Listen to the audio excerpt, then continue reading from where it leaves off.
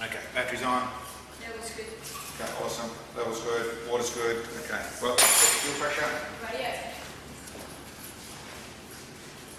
Ready? Get ready. Okay, switch to drive over 30. Okay, awesome. You do the key, I'll do the throttle. Fire up. Ready when you. Yep.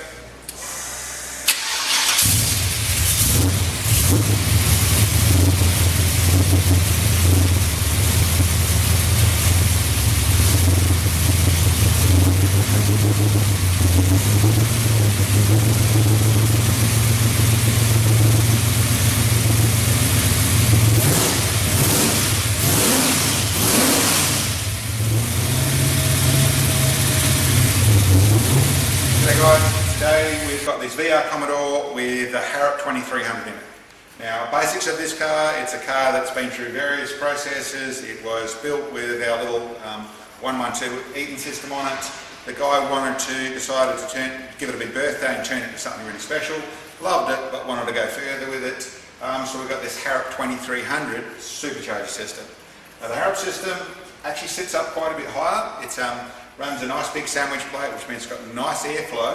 The negative of that doesn't fit under the bonnet. So what we've done, modified inside here, and you can see on the outside of it, it's got a spoiler that I've actually made. I've actually got a spoiler, cut it up, put it all on there, graphed on there, but it's starting to look pretty good. Um, the, the car's had a basic paint job, there's more work to go there. It's getting interior and bits and pieces, so lots more work to go. Uh, but what we've got under here is just basically it's a startup video so the owner can see um, his engine fire up. It's also sort of the beginning of the process with the project. But we've got the engine in there, it's got this Harrop system on, like I said, nice big drive system, big 8 rib drive system down to the crank. Some dotting the I's and crossing the T's to do with getting the manual throttle body on it and like I said, lowering things. I've also got the um, Radiator, modified that quite a bit, different cross members and bits and pieces to get the radiator down and then able to use the FD FI Harrop um, OTR, modified as well, but get that in there so that's going to look really good, flow good have nice clean air. Nice separate mount that's all done as part of the cross member which mounts up a big um, water air intercooler. We've got, uh, we're building up a big reservoir to go on the side here, reservoir and catch can, um, MSD ignition system. Basically the bonnet's starting to make sense.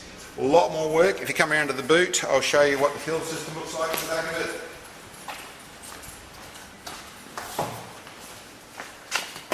So just a starting point, just the, just the starting of it, but there's a decent sized twin fuel pump fuel system in the back of it on a fake backboard in there, which is all part of the, how that works, so there's still room for other stuff in behind the seats. Um, but yeah, a lot more to go with the car.